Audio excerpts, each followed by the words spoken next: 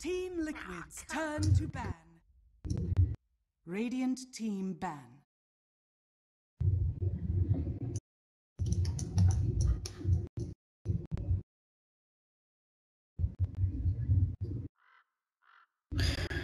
Hello, everybody, and welcome back into Captain's Draft 3.0 presented by Dota Cinema and Moonduck TV. We are here in the group stages in a Group A matchup between Team Liquid and Mama's Boys. It is a best of three series, and both teams, surprisingly enough, currently 0-2 in the group. Rather, they've lost one best of three for both sides. So it should be pretty interesting to see who comes out on top here, who wins this current best of three. Of course, we have Mama's Boys going up against the one of the top European teams and top team in the world in Team Liquid. Of course, I'm not alone today. My name is Mark. Me this evening, as always, is Pitbuckle. What a guy! And Purge. Purge, how do you feel about this best of three? And who do you think is going to come out on top? Just looking at it right now.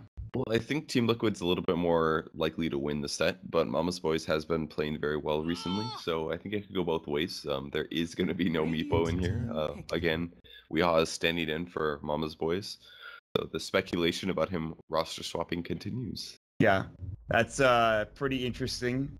I don't know if he. That's. I think he's just doing this because he can play for Mama's Boys because they, of course, Secret are not actually in uh, Captain's Draft. Obviously, he's played a lot of games for Mama's Boys, so yeah, it is a bit strange. But I'm not, I'm not even going to begin to speculate because I, God knows, I don't know anything. But uh, they also actually added a couple of uh, newer members, at least for the standings for now. They have Nikwa here instead of Yapzors and Milan, of course, from uh, Mind City, as well as New Logic Gaming, which, of course, like just sort of disbanded recently. Interestingly enough, so they have a, a smorgasbord of players. I would I would say here for Mama's Boys, and this makes it all the more interesting.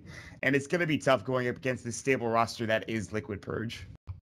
And it's not too surprising to see uh, Mama's Boys grab Phoenix. Um, I, I'm just thinking back to like Alliance of Star Ladder. They would pick Phoenix every single game. That was a, a couple Star Ladders ago, the one Yeah. in Romania that I casted. But Nico played uh, Phoenix every single game pretty much. So well, not too surprising to see the hero. It's had some decent success in Captain's Draft just because it provides good team fight. Has some trouble in the lane, which is why it's not picked in Captain's Draft usually. Um, cap- sorry, Captain's mode. Um, but I still think it's a decent hero. It's it's interesting because it's picked up by a couple of teams that other teams will just forget about it completely. He provides very good team fight, as you mentioned, but uh, the ability to bring it down with a couple heroes, especially like a Shadow Fiend, is pretty nice to have. The right click, being able to shoot through those attacks to destroy, which of course one is five, making the egg very susceptible dying if you don't put it in a good spot. And that, that really is what it comes down to, is getting that egg in a good spot. But we'll see if that's going to be the case. They'll probably send it offlane. We saw support uh, Phoenix coming out from Mama's Boys. Interestingly enough, the App Store played it a couple of days ago, and I thought he did very well with it. It doesn't look like that'll be the case this time around, though. They have the Bristleback, interestingly enough, plus the Shadow Shaman from Mama's Boys, as Liquid will pick up the Tusk and the Shadow Fiend. So right now their push is pretty solid, man. Bristleback in the front can hit towers, there'll be wards down as well, and if things get really bad, they can disable and use Phoenix Ult. And I, I think Bristle's kind of a good solution against heroes like Tide, Slark, and Tusk. You know, he can turn his back if things get a little dangerous, Right. and buy him some extra survivability to allow his team to back him up. But they need maybe a bit more carry potential to come through, cover him on the backside. Yeah. And to do that, what do they grab? There's not that many Deuce, carries left over. Yeah, kind of like the Deuce idea, but All they go well. for Brood and Sky. Uh, Broodmother can 1v1 a lot of these heroes. It's not amazing versus Tidehunter though, so I think Team Liquid probably can push that into a 1v1. Mhm. And then uh, it'll be Bristleback, Shadow Shaman, Skywrath, the tri lane. So very high kill potential, very, very aggressive early trialing, and then maybe Phoenix in a 1v1 somewhere else. Or maybe some dual lanes as well, because Skywrath Phoenix is also a possibility. Yeah. Might be really good. Yeah, There's a lot of damage coming up from Mama's Boys. A lot of not only burst damage, but uh, damage that comes out over time as well, which is nice. And Team what they still need to support for themselves. There's a lot left in the pool. Treant, uh, CM, um, Lich, AA, for example, and of course the big tank, big tanky ogre himself. This is the thing about Captain's draft, we can predict all we want, but it takes like half a second for this draft to continue and, and, and move forward, which is really interesting. It's just like, oh, we usually have so much time to talk about this. No, it's like 20 seconds. Heroes are picked. We're into the game. That's it. Let's go. And it is the CM picked up for Team Liquid. All right. Uh, I don't know if CM is the solution though. Uh, They they just don't have very many good Broodmother counters.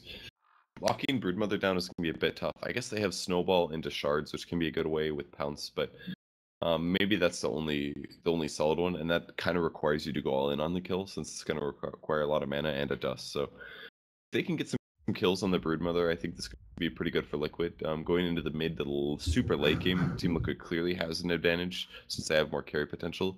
So due to their decent team fight and their okay ganking, if they can just go even with Mama's Boys, I think they're gonna have a really easy victory here. Yeah. Uh, Pajkatt playing the Broodmother a bit interestingly. Nikwa is gonna be playing Phoenix. Sox is playing the bristleback, but I feel like that. I don't know. Oh, because he. So they had Moscree playing the, the offlane role for them for a, a period of time here, a couple of week, a week or two or something like that. And but now they have a couple of support players. Weehaw is playing the Skywrath Mage. This is a mid Skywrath, which I've seen occasionally. It's more of a pub thing. I am a huge fan of it. Your levels come out very quickly. You can get arcane boots very early on, and you get so much damage coming through from your abilities. But we'll see Yeah. if it's going to be okay for what as they will have the Shadow Fiend more than likely going mid for Fata. I actually, I actually played mid Skywrath decently often in pubs whenever I'm with players that are lower MMR than me, um, just because it, it can actually scale very well in terms of carry potential. Now, it's not amazing this game because there's a Slark. Slark is kind of a good counter to Sky. Sky's uh, armor is so low that it's pretty easy for your opponents to focus you if they do start focusing you. So it's gonna be a bit hard to play it as a mid role, but you can definitely out pressure the Shadow Fiend at level one. You Yeah. can definitely trade more advantageously. And by the time you hit six, any gank is going to result in a kill on just about any hero. The only one that might be able to avoid ganks is going to be seconds to battle. Slark or Tide. Right. The Ancient Seal will come out, of course, and that is going to be a big issue. So you have to really worry about the Dark Pact, obviously, for Slark. But if he doesn't get it off, Silence, uh, and then he's going to get concussive shot, and all of a sudden he's going to die. But yeah, there is a lot of damage coming out from this Skywrath Mage, especially even at level one, with just one point in Arcane Bolt because he has that Null Talisman. This is not going to be an easy lane. Spots are early on here. They will try to secure the top rune spot. Mind Control will come in with two tangos. He's also got the tango, or rather two mangoes, two tangos Oh, he might die. They, now they're going to get caught there. Oh my god. Weehaw's about to fall. They can't quite get him. They're welcome to the high ground. They're going to save the last hit. He's going to fairy fire, and instead of killing him, it'll take a bit longer. But the last right click from KuroKy will get the job done. They do not, however, secure the bounty as it was picked up, I believe, by Pajkatt as he heads back towards that top lane. That was the god tier ice shards, man. Like that's the one hero they can't have dying like that. First blood goes to him, and now he's gonna have to lane slightly down. Shadow Fiend's got about 100 gold from that assist. He didn't get that much ahead, so I guess overall it's not gonna hurt uh, Weehaw here in the mid lane too much since he did buy out. But but KuroKy getting that first blood means his early ganks just might be that much more uh, devastating. Yeah, that's a huge pickup for him. And uh, Drax will roam down bottom to help out the sort of offlane Mattel Man Slark. I mean, he is the offlane, but I think they just want to make sure the matchup for the Tide is against this Broodmother, even though it's not going to be that great for himself. But uh, we'll see how this goes. KuroKy's going to go ahead and juggle up. No surprise there. He went for the Frostbite. He's going to go ahead and clear it. He'll have at level two, which is probably going to be. Could be a point in that arcane, or we'll see if it's actually going to be the case, or if he's going to go for a Crystal Nova. We'll wait and see what he could, what he gets up for his next build. I don't ability. think he'll gank just yet. Maybe wait till Shadow Fiend hits three or something like that. It's Yeah. a little bit hard to gank otherwise. Bottom lane, it looks like there's a fight breaking out. Saxa, they get off the shackles from Temple Man can't chase further, and he's getting the Salphus as well, but it's going to get canceled as the right click comes through from Jerax. Saxa will back up and away, and he'll stay alive. He doesn't even have Bristleback. It's still a good attempt, but top lane.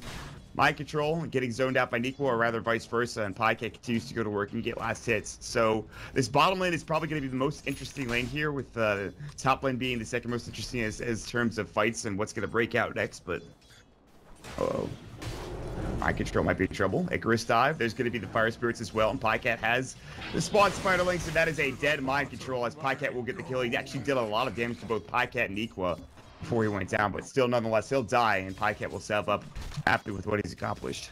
It's, it's smart that they did a dual lane versus the Tide, because in a 1v1, the Bristle just doesn't, or I'm sorry, the, the Tide just doesn't really die. He just reduces the spider damage. But having a second hero, and that hero doing largely magic damage is, is really beneficial. Phoenix also has low armor, but he can't get punished by the Tide, really. Yeah, sure, Anchor Smash can hit him and stuff like that, but it's a very small component of the damage overall. Um, and the, the amount of times he can just kite that is going to be easy. Almost dies to Crystal Maiden here. Yeah, Nikwo was getting caught. He didn't quite have his Icarus dive when he was looking for that rune spot. KuroKy gets in there, frostbites up, and then forces him back pretty much to the base. But uh, he'll be fine. This will leave, of course, the Tide in a 1v1 for now. When he actually is up to 11 last hits, those are going to be inflated because of the spider lanes. But he's still doing very well for himself, all things considered, after that death.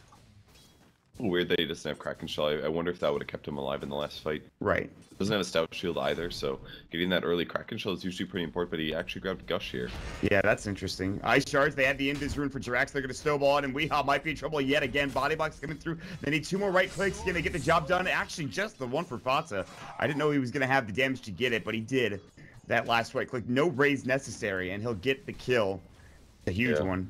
Just the problem with the mid Skywrath, it's so easy to gank, and they've got a Tusk and a CM. Either of those heroes can set up this, these kills for Shadow Fiend. And once he gets his minus armor uh, man, it's gonna be mid game, and the the Skywrath mage is gonna die to like three right clicks. It's such a dangerous place to be in.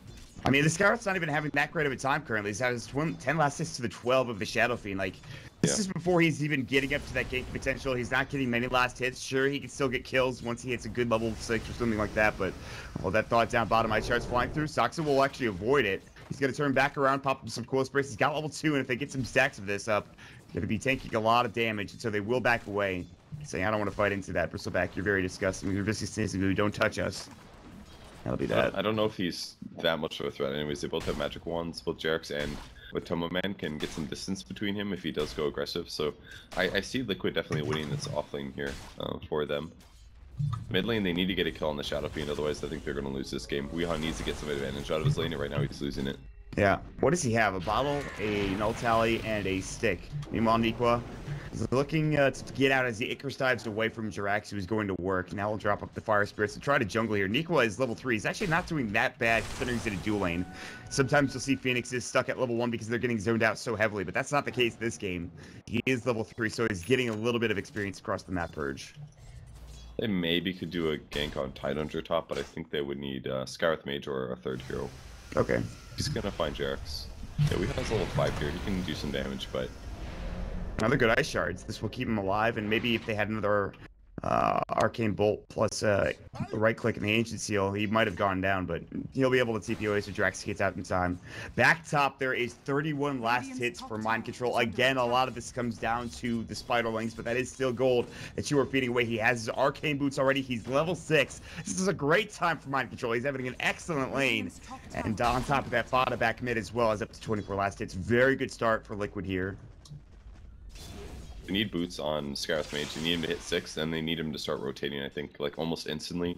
Put Yeah. somebody that's under leveled on mid, like Shadow Shaman, let him lane, and then uh, give Skywrath Mage around to ganking. And in a lot of cases, mid Sky is gonna get under leveled, but that's because he doesn't have very good farming. Oh. because He's a single target hero. Milan. They get the smoke up. There's the snowball. They're going to get off the frostbite here momentarily. The dark pact will fly. They don't even need it. They can frostbite Nico if they Yeah, want to. kill. Oh, it's on cooldown actually. Crystal Nova. I thought he didn't use it there, but here comes the quill sprays.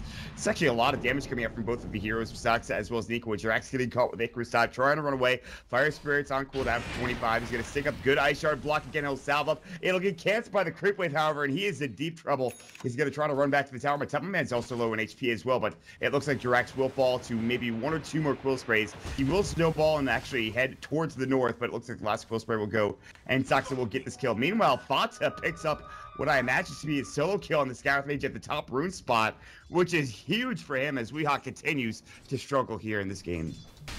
Don't get a kill on the Shadow Fiend. By the point he hits about seven, his damage is just way higher than you. Especially he basically has a double damage all the time. And if you have zero armor, you can't fight against that. The only way to do it is to constantly sit at like 600 range and spam arcane bolts and try to keep him kited there. It's the only way that you can beat an SF, and it's very clear that those first couple early roams from the Tusk are just too much. I mean that that level one death. How how big of an impact did that have on this game, Purge? How I big did that level one It death? had, it had a hurt him? small. It didn't matter that much. It helped Okay. KuroKy, but KuroKy didn't translate that into Scarth Death, so that wasn't a big deal. It's more Okay. that there's an invis on Tusk, and Tusk then came mid and, and got Yeah. the kill. Yeah, we just saw that recently, and uh, Scarth will die yet again. But now there's a smoke coming out. This one from Shadow Shaman, and uh, is nearby as well with Icarus dive at the ready. Maybe they can bring him down the concussive shot. There's the Ancient, the others do the Shackles, Mystic Flare, and finally they will get themselves a much needed kill with Nico picking up the last hit. Very good roaming gank, but they have to commit three heroes to that said kill.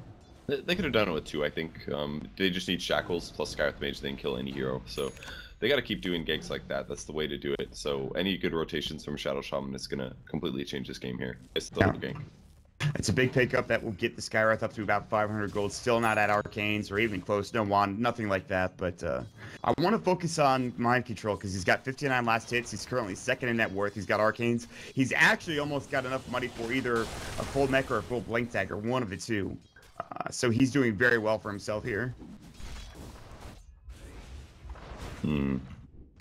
Is he going to build mech or is he going to build blank? What do you think in I'm, this I'm game? sorry, what, on tie, I'm guessing? Tie, yeah. Um, I, I Oh. think mech is. They should just build mech. They're worried about a team that is more suited to early game lineup. It's better for them to go for early game items then. And they have just they have decent damage, but not amazing damage on Mama's Boy. So if you can keep somebody alive during.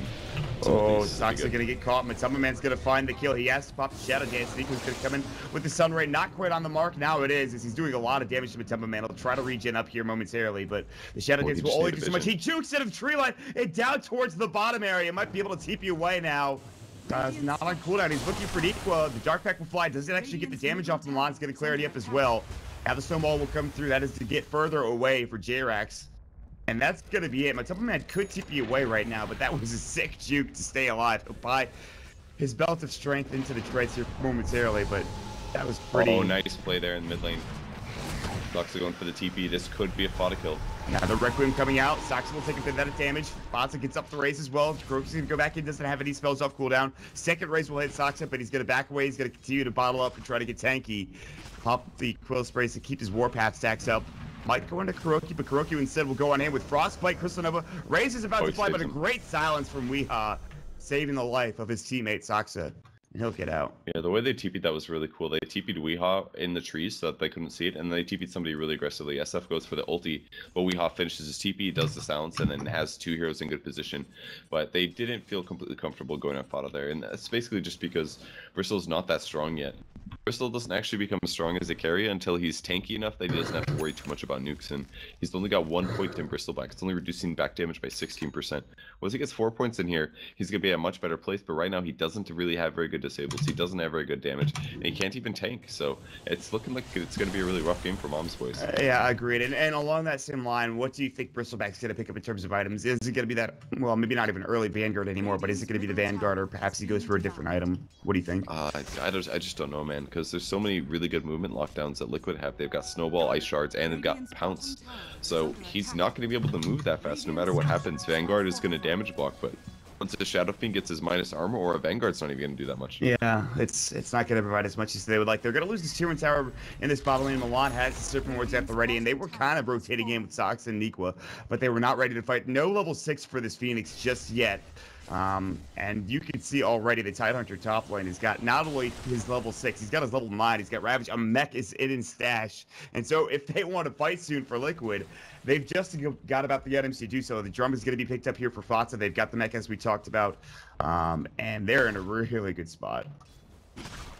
Yeah, mind control's basically just never left left the top lane, but you got to do this to counteract the brood sometimes. It's been completely worth it for them so far. She's got no tower damage done, which I guess isn't that surprising considering who she's up against. We'll hold that thought. Bottom lane, Fata's gonna get caught.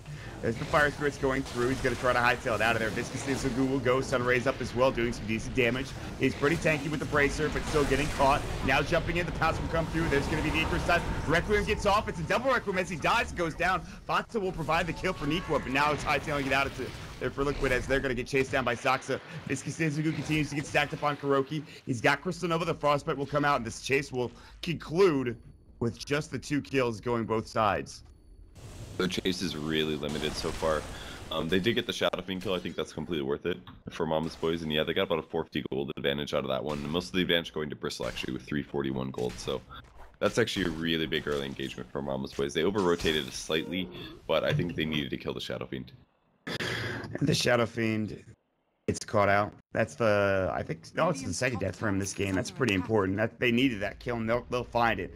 I think the Skywrath was involved in that. He's now got his arcanes up. He's starting to get a little bit back in favor, but he's two levels down behind the Shadow Fiend. His net worth wise is below halfway mark, and this game is going to continue to stay hard for Mama's Boys until they can find a good team fight. They need level six on the Phoenix, and he's not quite there yet. They should give him perhaps solo experience bit, and they're not really doing that. Pretty interesting build on Shadow Fiend here. He's opted for uh, Treads, Drums, Aquila. Very early game focus, but I think it's a pretty smart item because it counters two things. First of all, it gets you out of the Skywrath ulti since you can make yourself run faster, and also it counters the Phoenix Egg. If as soon as the Phoenix Egg comes out, if you can amp everybody's attack speed by 30%, that egg's just going to die right away. Yeah. So I really like the early choice. Plus, he doesn't need mech since the Tidehunter already has it. So I think he's got a great item choice here. Sentry's gonna get placed down. Pajkatt will be dusted as, well, and he now can't go into the tree line. The freezing field will fly, and KuroKy and Fatsu will find themselves a nice pickoff. But here we go. A gank's gonna come in on the Jerax. There's the silence up the Arcane Bolt, the Mystic Flare as well. Jerax is one Arcane Bolt from death. And Weeha's looking to throw that bad boy up, and he can't quite get it off in time. That could have been a kill, but he'll stay alive because of the stick charge coming up from Drex. Well played. Now he's going to head back home. But this will be a tower presence uh, getting pushed down as the Serpent Wards will come out. And top lane is getting pushed as well from Fatima Control and KuroKy. And they will find this tier 1 tower top lane for sure. Getting mid is a little bit better, but they have already lost their mid tower, so they're kind of just equaling things a bit here. Uh, Saksa does have a vitality booster, so very likely he will be going Vanguard, uh, probably into SNY, pretty common Bristle build. But in the meantime, Liquid's moving in position to take this team fight as they retreat. They're ready Yeah, to go. Here's the pincer maneuver. Nikwo does not have his level six hit. The Ravage will fly. It's on to three. Weehaw gets obliterated by the anchor smash coming through. They still have Gush. Nikwo will Icarus dive away. They have Gush to use. He's going to get across the tree line. Try to TP away. Will not make it. The Gush comes through. Gets a great double kill for Mind Control. And that was an absolutely beautiful Ravage coming out from Mind Control, as you mentioned.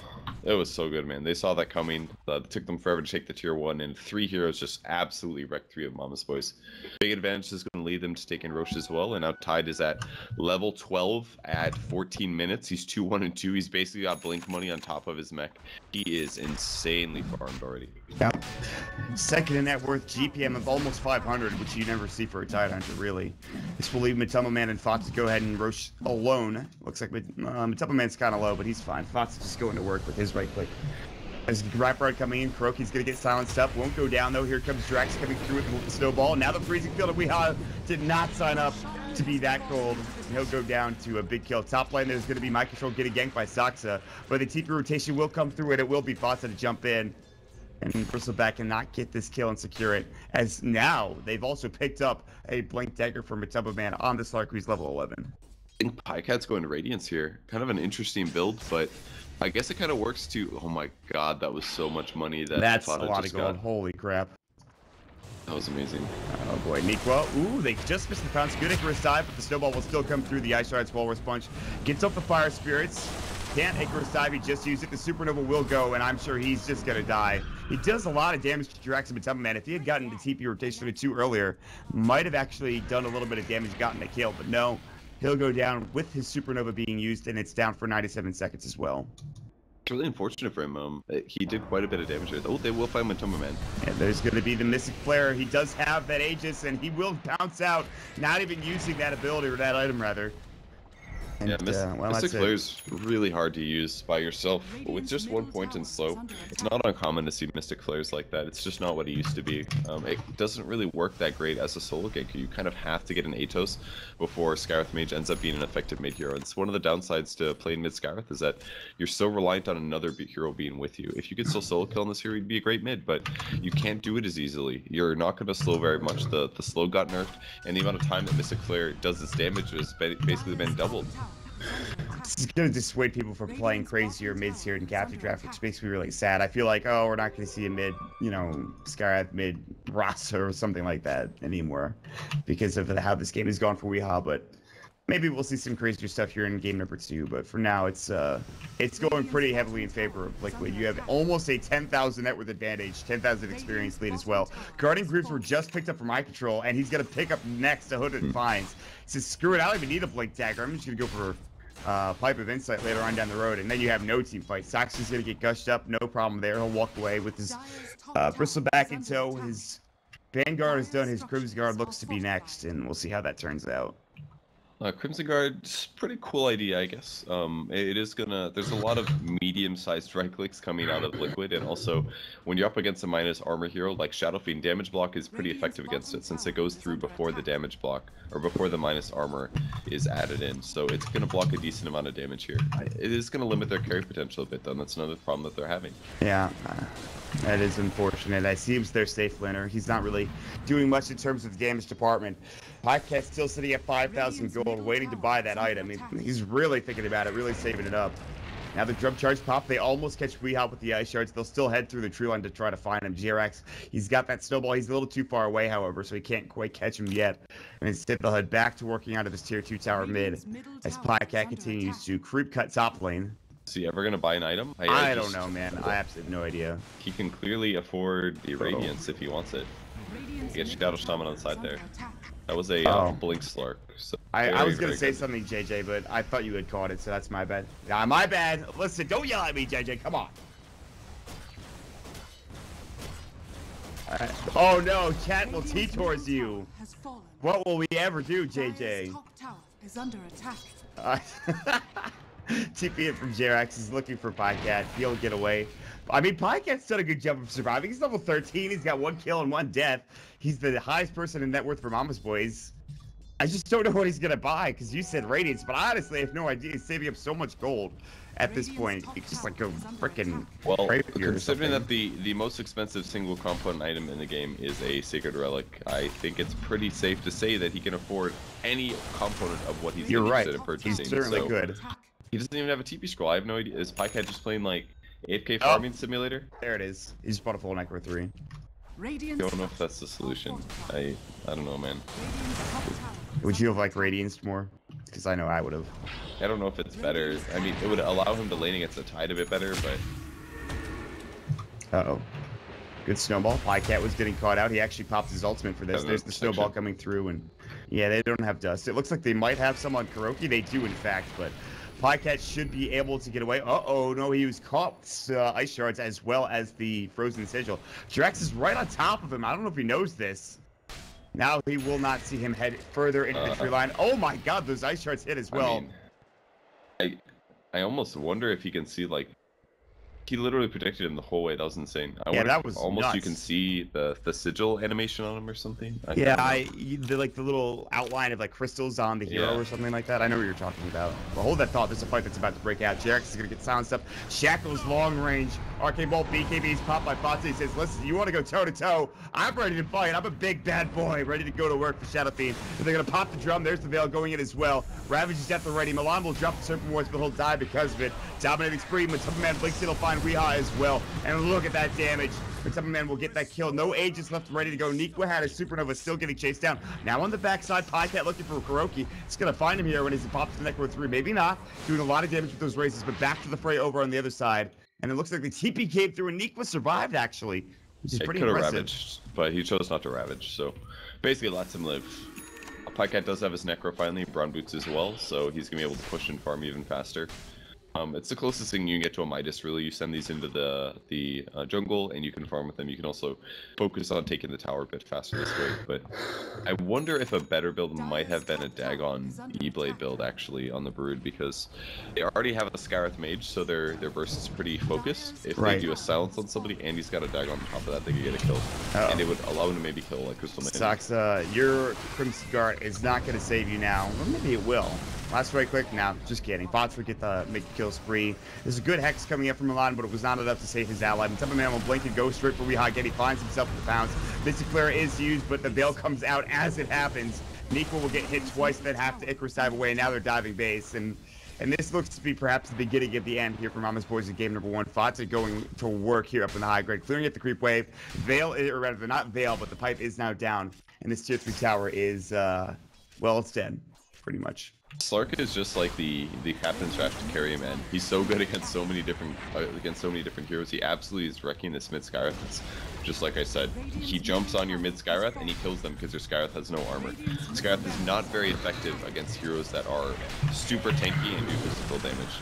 So, and he just keeps blinking and killing people. Yep. He's being very aggressive. He's got two ultimate orbs for the beginnings of his Skadi. They will buy back onto Nikwa, and it looks like maybe Liquid didn't want to back away, but instead they just throw up the Ravage. There's the Veil as well. They get off the Supernova in time. Mind Control's hexed up. It's a pretty good Supernova, but it is going to fall almost immediately. The Freezing Field will fly for KuroKy. Requiem will go, and the team fight is too damn much. Four dead. There it is.